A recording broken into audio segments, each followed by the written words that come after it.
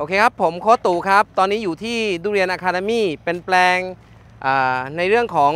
อแปลงสาธิตในกระบวนการปลูกแบบยกร่องและยกโคก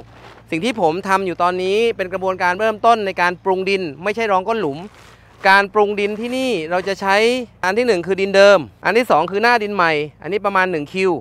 อันนี้หน้าดินสีแดงเนี่ยมากองนะครับ เพื่อให้เป็นลูกโคกบนลูกโคกอีกทีนึงนะและสิ่งที่เราใช้เพื่อปรุงดินหลุมนี้ ดินเดิม ดินใหม่อันนี้คือปุ๋ยหมักที่ได้จากวิสาหกิจจากท่านนายกโหนงนายกสมาคม อันนี้เป็นอย่างนี้ไม่เป็นไรนะ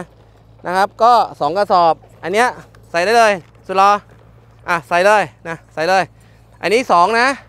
เนี่ยทั้งหมดเนี่ยอย่างเงี้ยนะ 2 แม้แต่ตรงนู้นก็2เนาะอะใส่เลยอะอันนี้เดี๋ยวพี่เขาจะใส่ให้นะครับ2อะนี่2นะครับ และที่เราใส่ต่อไปน้องซันไอตัวนี้คือปุ๋ยปลานะครับ เป็นปลาล้วนๆนะฮะนี่ปลาล้วนๆนี่ปลาล้วนๆนะครับ คือปลาไขกระดูกเลือดหนังเนี่ยจากญี่ปุ่น อันนี้เราก็ใส่ไป 1 กระสอบนะครับเมื่อกี้อินทรีย์วัตถุ 2 กระสอบ แล้วต่อไปก็คือปุ๋ยปลา IM ตัวนี้จากญี่ปุ่นนะครับเป็นอินทรีย์วัตถุก็รองก้นหลุมอีก 1 กระสอบ 1 กระสอบอ่าใส่เลยนะและที่เราใส่ก็คือสารประกอบไฮโดรคาร์บอนอ่าเพื่อปรับโครงสร้างดิน ปลดปล่อยธาตุอาหารยับยั้งโรค ใส่ครึ่งกระสอบก็คือ 12.5 กิโลสู่ส่วนในทอง และ ใส่ทันเดอร์แคลหรือยิบซ้ำครึ่งกระสอบก็ 12.5 กิโลอะครึ่งหนึ่งไปใส่เลย อันนี้ครึ่งหนึ่งใส่เลยอ่าใส่ครึ่งหนึ่งนะ ครึ่งกระสอบอ่าอ่าครึ่งกระสอบนะครับครึ่งหนึ่งครึ่งหนึ่งครึ่งหนึ่งอ่าครึ่งหนึ่งนะครับอ่าโอเคอันนี้แล้วอันนี้ห้าอ่าห้ากรัมอ่าใส่แล้วเดี๋ยวแมคโครก็จะปรับให้ทั่วให้ทั่วนี่ด้วยทั่วทั่วทั่วกองอ่าอ่าทั่วกองอ่า อันนี้อ่านี่คือฮิวมิกคือทุกหลุมจะเป็นอย่างนี้ไปนะอันนี้สองอันนี้ครึ่งหนึ่งโอเคนะไอ้ตรงนี้หนึ่งอันนี้ครึ่งหนึ่งอันนี้หนึ่งอันนี้ห้าเคลียร์ลงแปลงอะไปนี่นะครับอะเราต่ออันนี้เอาไปตรงนู้นไปอันนี้คือ humic นะ อันนี้คือ humic ที่เป็นเม็ดละลายน้ำเลย อันนี้นะครับ เราก็เอาใส่ไปเนี่ยครับเนี่ยใส่ไปเนี้ยห้า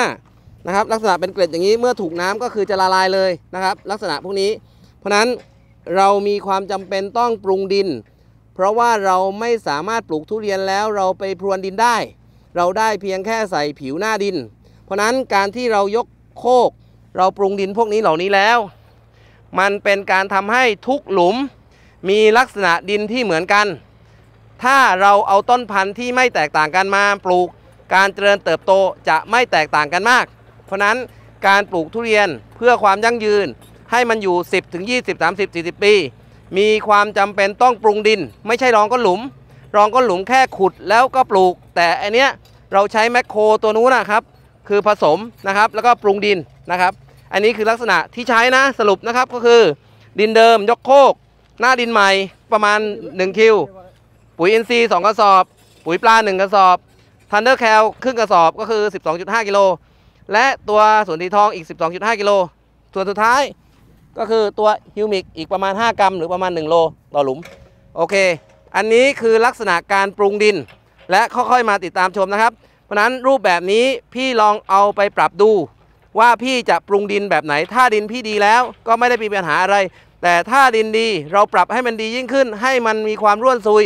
นะมี humic กระตุ้นรากแร่ลีโอนาร์ไดต์ต่างๆ เพื่อที่เวลาทุเรียนมันไปเจอได้อาหารก็จะโตเร็วครับ ผมโคตู่อเบาทุเรียนครับขอบคุณครับ